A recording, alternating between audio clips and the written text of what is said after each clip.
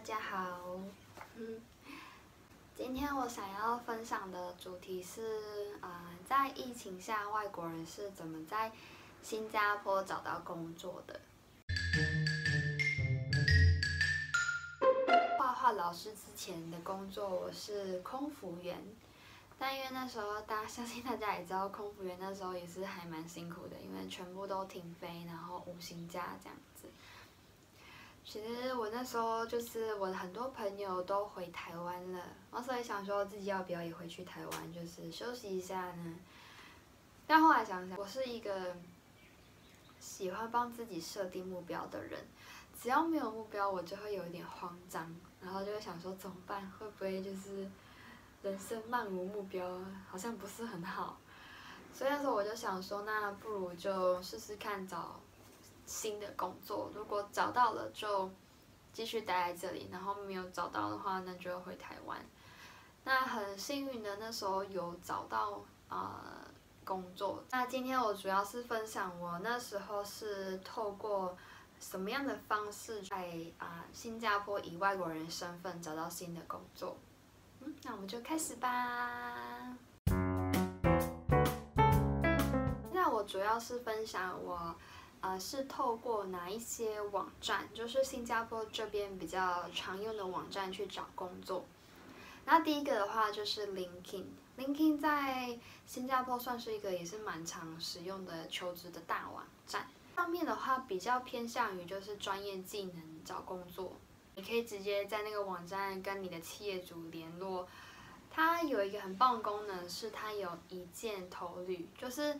你把你所有的设定都填好之后呢，你就按一个键，咻，你的履历就会送出去给那个老板看。那如果他们对你有兴趣，他们可以直接就是私讯你，然后跟你聊状况。第二个网站是呃 Job Street，Job Street 它是有一点像是台湾的一零四，就它里头的。职业非常的多种，就是含像是服务业这样子也有。但是 Job Street 上面呢，就是它，如果你点进去看的话，你可以看到有多少人跟你在竞争这个工作，然后那些人的现在的工作是什么，他们要求的薪资是多少。我觉得在 Job Street 上面啊，投履历其实有一点点。难让企业主注意到你，因为实在是太多人了，所以基本上呢，他会直接用电脑那种删去法，就是你很有可能就完全没有机会。第三个的话呢是 My Career Future Singapore，这个网站呢，主要它是提供给新加坡当地人或者是 PR 找工作的，因为那时候疫情的时候。其实很多当地人他们也是失去他们的工作机会，所以政府跟很多很多的企业家都有合作，政府会补助就企业家，啊提供工作机会给求职者，然后求职者的薪水呢有一部分是政府补助的，但是千万不要觉得外国人不可以在这个上面找工作，只是我们不可以透过这个网站去申请这个工作。但是你可以透过这个网站知道哪一些公司缺这个职位。当然一开始我也是傻傻的，就是只是用它就是啊网站设定好东西，然后去投履历这样子。当然这样收到的回复就蛮少的，没有到很多。哎，有一些甚至知道我是外国人的时候，然后就说哦不好意思，我们现在没有这个职缺，然后也没有名额给。外国人申请准证，所以我有两个小秘诀：外国人怎么在新加坡投履历呢？就是呢，你在那个网站找到那个公司名字之后，你直接去 Google 那个公司，然后去它的官方网站，找到它 HR 人事部的 email，你直接把你的履历还有你的啊作品集或是你的。Cover letter，你的求职信全部都寄给他。至于他要不要回，那就是他的事情了。你已经主动出击的。这个公司的官方网站呢，它没有 HR 的 email 怎么办呢？会有，一定会有一个 email 在上面，可能是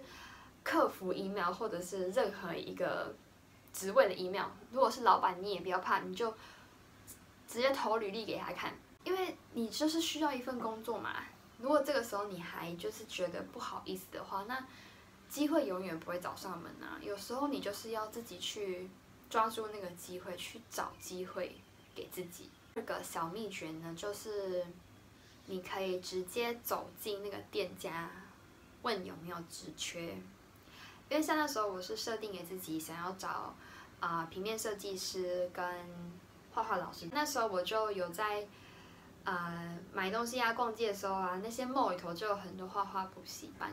然后我有时候就会去看他们有没有就是在真人的那种广告，但是每一家提供的福利都是不一样，所以可以趁这个机会你再回家去，好像是 Dropstreet 啊或者是 LinkedIn 看他的。基本薪资还有它的福利大概是什么？然后你有看中哪一些之后呢？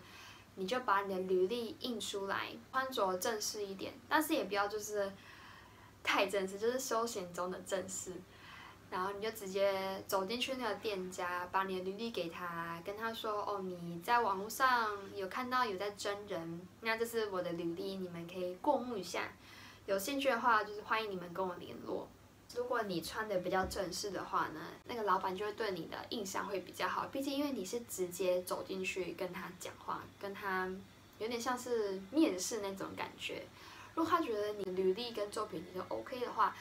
那他可能当天晚上他就会跟你联络了。因为当时我也有收到很多不同家公司的面试的啊邀请，我就是我不管谁邀请我去面试，我都会去面试，因为。即使你对这个公司没有兴趣，但是你去面试，你就是给自己一个练习的机会。更何况现在是在外国，跟在台湾面试的时候当然是很不一样的。当然，第一个就是语言嘛，新加坡这边都是讲英文的，所以你需要给自己一点时间去调试那个节奏。他们的面试方法跟他们问你的问题会有一点点跟台湾不太一样。所以你透过不断的去练习面试，你就可以大概了解，然后你也更可以有自信的，呃，表达出自己的想法。很多公司都找你去面试，然后你也去的话呢，就代表你掌握了自己的机会。那时候除了我现在这个画画老师的工作之外，也有其他公司有提供我，诶工作机会，但是我后来经过考量之后，我还是选择就是来当画画老师。以上就是我在新加坡以一个外国人的身份去找工作，而且特别是在疫情下，